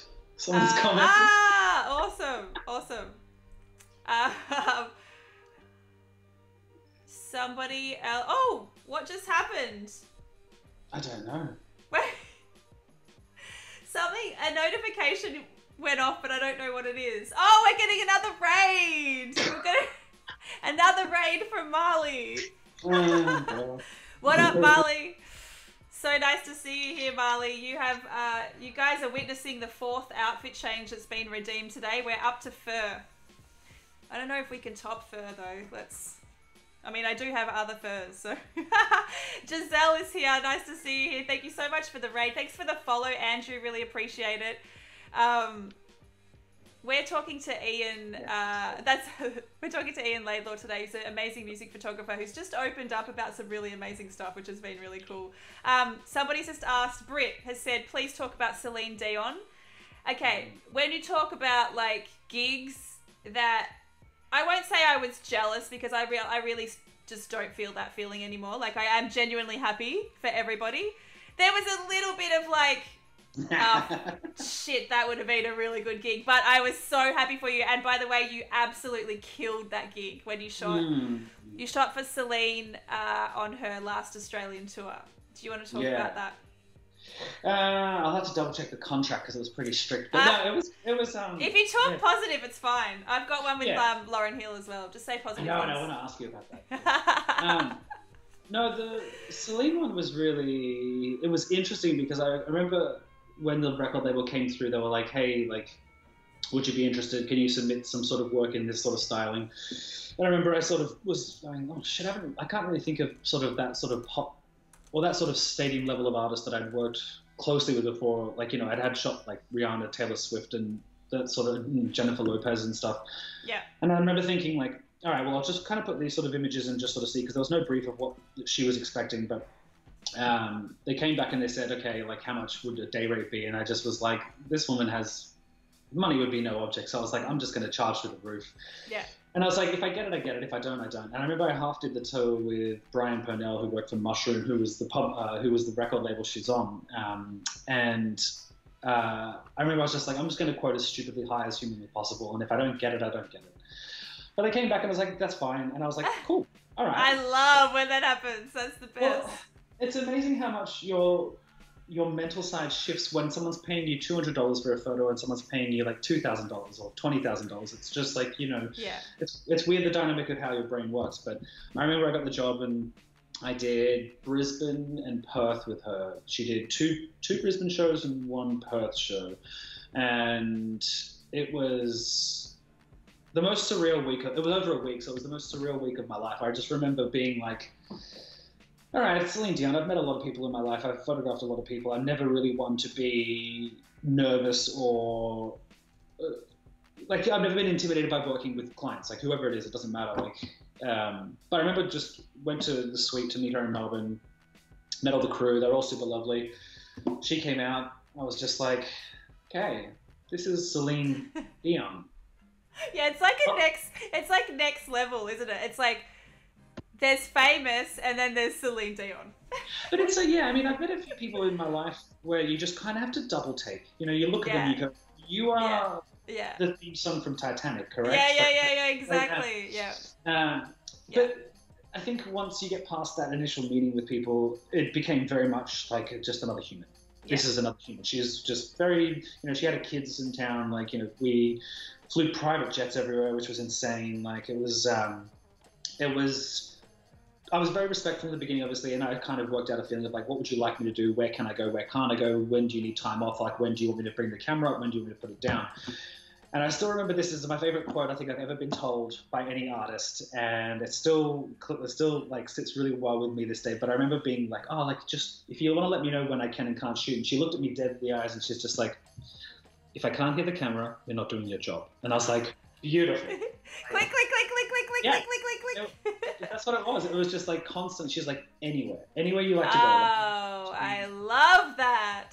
That's And I- amazing. That's And I remember we were at the uh, Brisbane Entertainment Centre, I think, and there were a few a few friends of mine from Brisbane were there, and they were shooting, and it was all like they were front of house. And I remember the first live show, I was like, well, like where where would it be okay to go, or where would you prefer that I not go? And she's like, if you want to come out behind me on stage at any moment, feel free.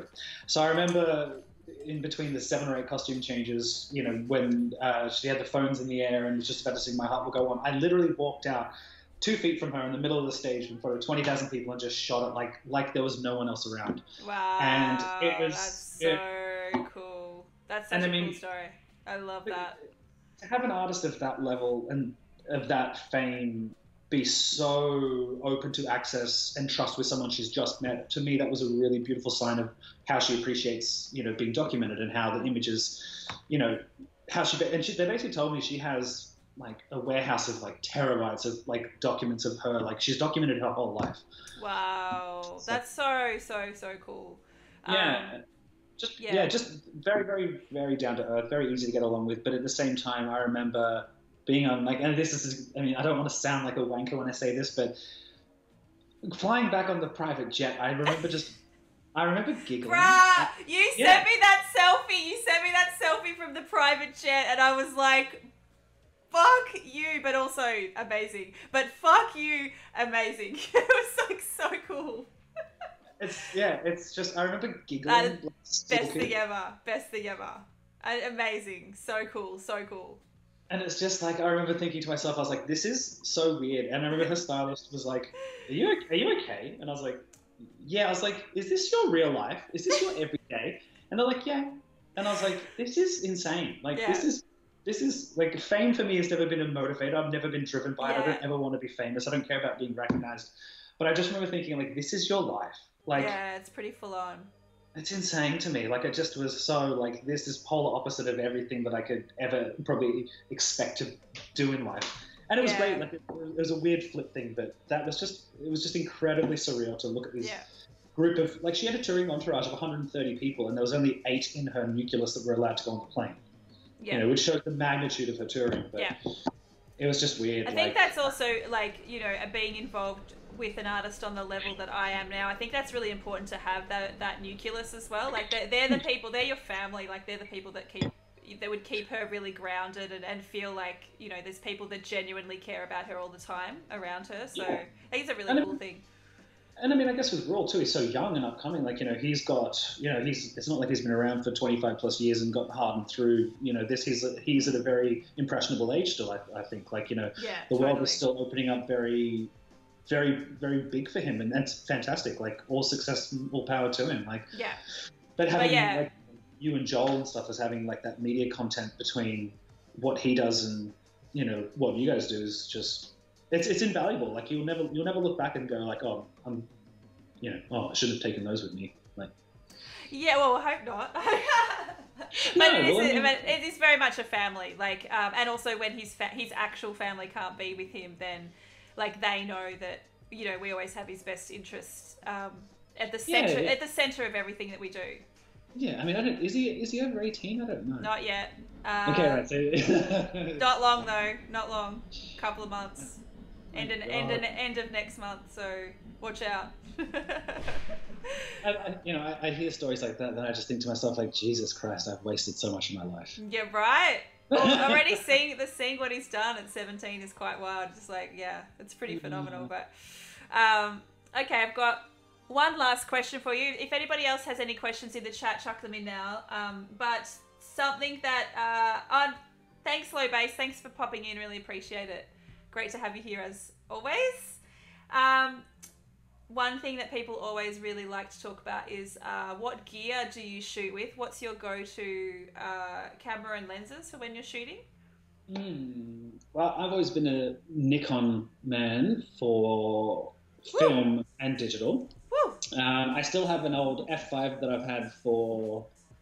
I think it got given to me in like 2002, maybe. So yeah, this old Nikon F5 camera. It's just a machine. It's an absolute tank. I've taken it in to be serviced once, and the lady's like, "How many times has this been serviced or cleaned?" And I was like, "None." And she's like, "And after this, you probably and after this, you probably won't have to worry about it. Like it's just, it's just, uh, yeah, it's a beast." But I mean, like Yeah. for me, I shoot a lot of, of like all my film stuff is all on Nikon film as well. Mhm. But um, like I've got my old Hasselblad that I love, um, and I just recently bought a six four five back for that, which is cool. So Is that Um, um, 35 millimeter or me- uh, medium format? that's what, yeah, it's medium format, so it's Okay. 120. So it shoots six by six, but I just bought a, a, a new back for it, which shoots six four five, so not so square. Oh. So I've really just um, I just shot some stuff in medium format Mm. uh, that will hopefully be seen soon. Uh, Nice. So yes, I have absolutely fallen in love, and will definitely. I borrowed my friend Ollie's uh, camera, but I think I'll think I'll be needing to get one of those. yeah, Um, I mean the, the good thing yeah. about the Hasselblad, it doesn't take batteries. You know, you can. I mean, it's a little bit cumbersome, but I mean, not It's a as much as others. Yeah, I Oh, yeah. actually, it actually fit into my um, my camera bag pretty nicely. Actually, the thing that it really slowed me down because I'm an overshooter, and Yeah. I it made me. I was so so nervous, like because it was a really big deal that I was shooting, um, and I shot I think seven rolls of film, both color and black and white, and I think only two photos didn't work out. So like I was really, really, That's a good really, ratio. really taking my time, like really just like I gotta nail this. So, um, but that's how nervous I was. I was like, I was like, oh god, just if if three of these photos turn out, I'll be stoked. And they ended up like pretty much all being awesome. So very cool. But, but they're, be- I mean, they're beautiful. Like they're just such nice. They are beautiful. Such It's- nice cameras. and just um, the the I can't even the yeah something untangible like that you can't really explain about the quality of the photograph. It's just something that it's indescribable to me. I don't have the words. I can't articulate it properly, but it's uh. I'm Yeah. definitely hooked, and I definitely will be shooting more. So I'm very excited mean- about that. But I mean, it's also a good way to slow down your brain. Like you know, you think about digital cameras these days, the low light capabilities, the fast lenses. It's it's almost it's almost harder to fail. You know, like you can shoot so easily and you know pull something out of it. Like you know, with film, it became part of going like, well, I have to actually think about this. Like I've got a certain amount of frames, or I've got a certain speed film. Like I can't go from 100 ISO to 6400. You know, I have what I have, and it's like Yeah, yeah. you know, working working with film is uh, definitely. uh, For, well, I mean, for me, it's always helped with my creative process. And I mean, I think if I could just shoot film, I probably would. Yeah, there's been um, uh, Peter said finding a challenge to use when my subject doesn't want to sit still. That'd be very hard for you, Peter, shooting mostly Yeah. animals.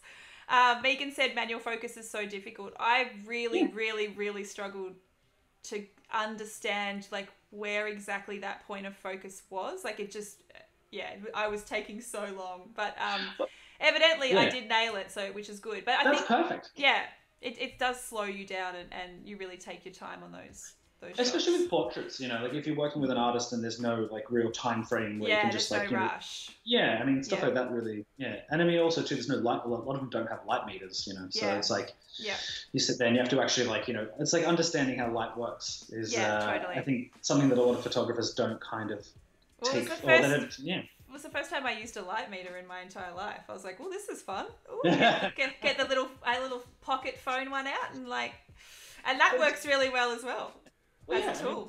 But it's funny how you can kind of work it out already through, you know, your settings. If you shoot manual, if you're shooting a live show, you're shooting manually. You know, it's you, you kind of know what sort of aperture, what ISO, and what kind of Yeah. shutter speed can can get something. To, obviously, depending on the light, but you know, you light, can just yeah.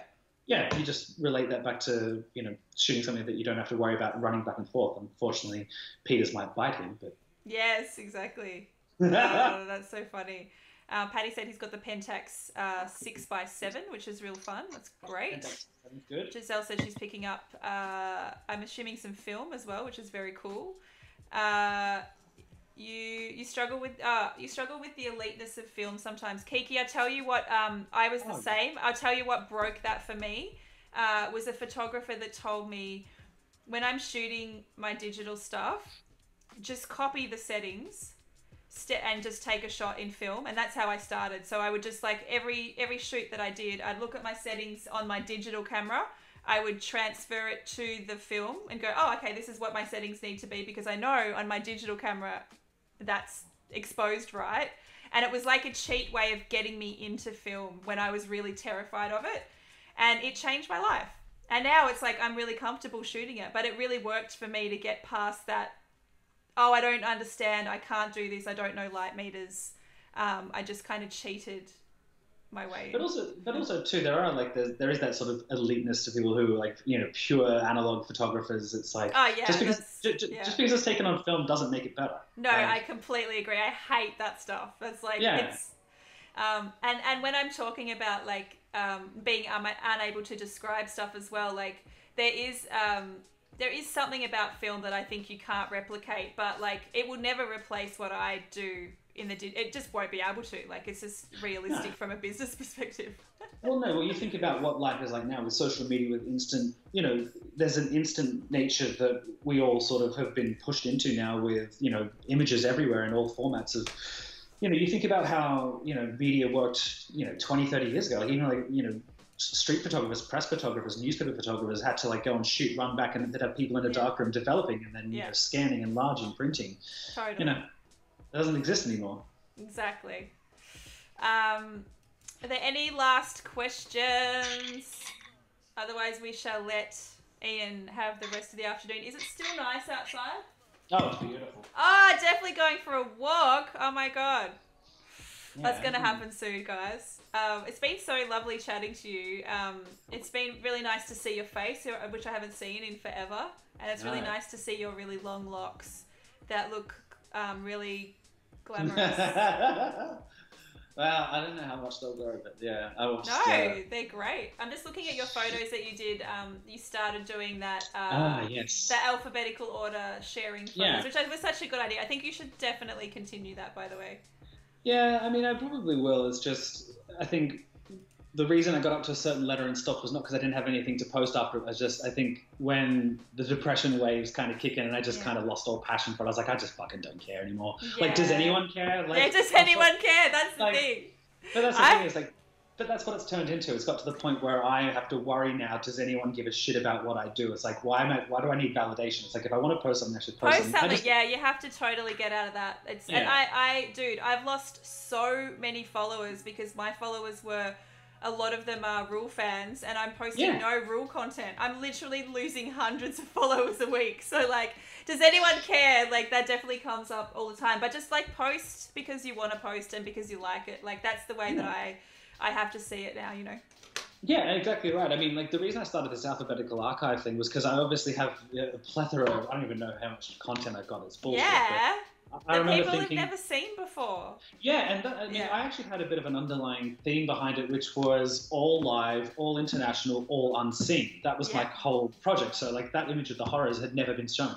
Yeah. And it's just stuff that sat on my hard drive, and so I, I thought to myself, I was like, well, I might as well start, you know, going back and posting stuff because I uh, you know, it's stuff that I I like that I probably overlooked, and so all these images were shots that I hadn't even edited. They were just sitting there, and I was like, "Fuck! Like, how did I miss that one?" You know, you just go back and sometimes you find a shot that you didn't even know that you'd taken. You're like, "Oh wow!" Yeah, Like, totally. why? Totally. Yeah, like why? Why did I select this shot over this shot? Like, you know. Yeah. So it's, that's that was the whole premise of it. I mean, I'll, I'll, I'll probably go back to it, but Yeah. it's just uh, yeah, it's it's interesting to look back retrospectively now because I think the best advice I ever had from an editor for a magazine I worked for, I used to shoot really tight, like you know, really, really, really like Oh yeah. close shots, like Yep. all 70 to 200. You know, I loved the like shallow depth of field. I thought it was so cool. And I remember like I had an editor once who just like said, "Your photos are good, but you know what you could do?" And I was like, "How dare you tell me? Like I know how Yeah. to take a photo." Like he's like- How dare you? yeah, he's like, if you if you if you pan it out, he's like, you know, you can crop in. And I was like, oh fuck. Yes, shoot Yes. wider. Shoot wider. Love it. like. Beautiful perspective. Um, giving it almost, almost gives you that perspective of what it's like to be there. I think when you're a bit wider. So I really, I really like shooting that wider stuff as well. Well, I think the human eye sees it like what 22 or 23 degrees or 20 or 23 20 millimeter. Yeah, I think it's Some- between 24 and 28 or somewhere around there. But yeah, Yeah. yeah. So that's what your peripherals see anyway. So Yeah. for me, kind of like, and I mean, I you know I've learned to love negative space more and more now. So it's kind of cool to see the transition in. You know, I think it's great to see transition in everyone's work, just seeing how they evolve. You know, like where they go to, where they've come from, and just watching people get better or just find their own sort of sense of style. Like it's nice. I love that. I love that. Yeah. So so so good. Yeah. Um, well, we're going to let you go. Is there, guys? Is there anyone I need to just check this? Hang on, let me pop. I'm gonna find if there's anyone that we can raid. Um, uh, let me check. Um, really, really amazing, amazing, amazing to have you here today, and lo- lovely, lovely chatting. Yeah. Is he going to join the crew? Um, he's already part of the crew. Ian's been Yeah. Ian's been in the chat before, guys. I have. Um, Megan Carew. I used you as a music film photographer reference. Oh, that's really nice. Thank you. ah, that's so cool. Oh, Josh is online. We could definitely raid Josh again. Um, he's just chatting as well. He's not playing games, so that could be fun. He's one of my faves. Uh, we'll go raid Josh. I just wanted to say, oh hey Six, you just missed the. Uh, we're at the end of end of the chat. Um, I just wanted to say something to all of the crew. Um, and actually, this is actually very very relevant to Six. Um, there's been some amazing stuff happening this week. Like uh, uh, this crew, if I rally the troops and ask the crew to come over and support, you guys have been so amazing supporting other streamers and following them and getting them to goals that they need to, to get to. And I I love this so much and I really want to continue us being the community that can go to other people's streams, let them know that we're there, let them know drop the crew emotes let's show them love. Like this is a really loving community. I really want us to be the most supportive. So let's continue to do that. It makes me so happy when you guys um when you guys do that. So yeah let's so chloe that i'm gonna do that tomorrow. Um oh thank you so much for gifting that uh, for continuing your gifted sub six. That's awesome. Uh, chloe after my interview tomorrow i'm doing an interview with soy that's going to be at 10 a.m. my time, so a little bit earlier. Um, I'm going to do a stream at the end of that, which will be showing uh, some inspo for the emotion challenge this week, and it will also be editing a FaceTime shoot that I did this morning with Bats. So we're going to do that tomorrow. Um, and an interview with you tomorrow. Yes, I'm doing interview with um, Frederick from This Week in Photo, uh, a um, podcast, I believe. So uh, that will be tomorrow at 2 p.m. I think. So yeah. Uh, it's not a photo of Matt Vicky, It's a photo of Bats, who was in the chat today. So we did a FaceTime shoot this morning, Ian. Needed to get creative, so it went really well. It was really fun.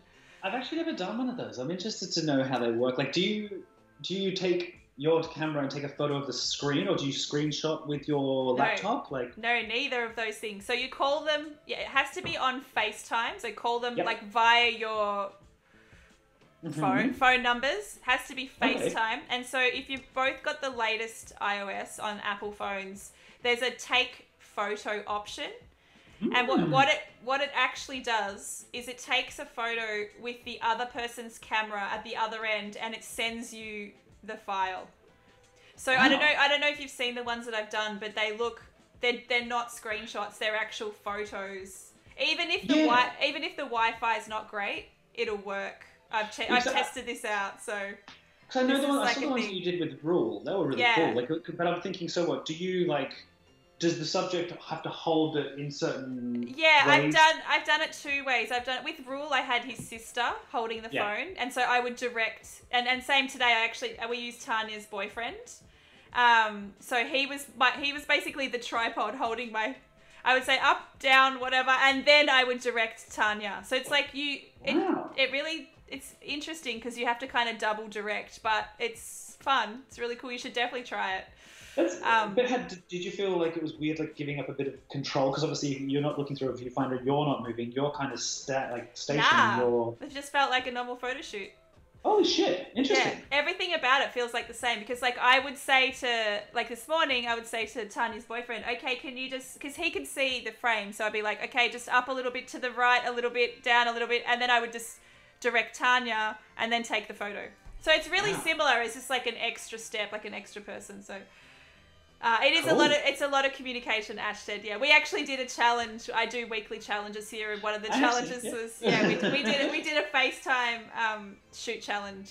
So yeah, I'm too nervous to enter these challenges because everyone that's been producing stuff that I see is too good. Bruh, I don't, I, you don't, need I don't want to be that. No, I don't want to be that Bruh, old guy who. dude, you need to join this week. You need to join this week because there's a Nikon prize up for grabs. So this is the week to do it. All right, well, I This need a is- D6, so I think that's the prize. Yeah. um, it is this week. We have a theme of emotion. So it's a it's uh, a photo, one photograph that can convey emotion, and I'm going to show some examples on the stream tomorrow. So um, that's what we're going to be doing. Well, I've had a lot of those over a few months, so uh, you know, It's it's a self portrait. yeah, it'll literally be just a self legit, legit. Uh, Peter's saying the same thing. So guys, Peter, you need to enter as well. Come on, guys. You guys are phenomenal photographers. So Someone's predicted I'm gonna win. Hell no. yeah.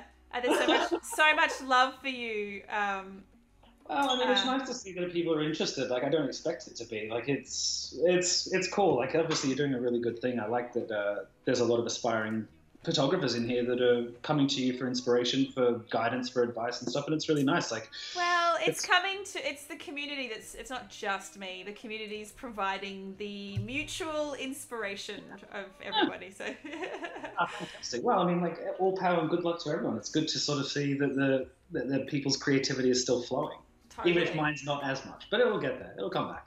Yeah. Uh, well, thank you so much again. Actually, Six just went live, so maybe we'll go raid him because he usually does stream. He, he does stream.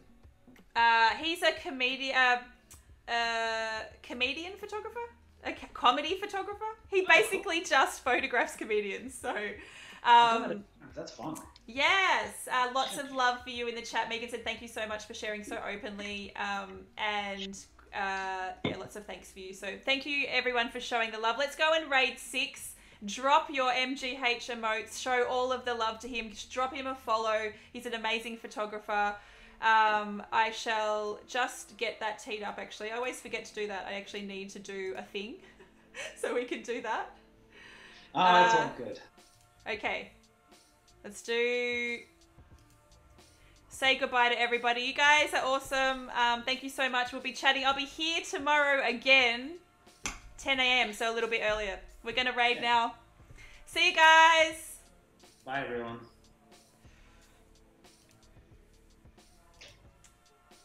Um,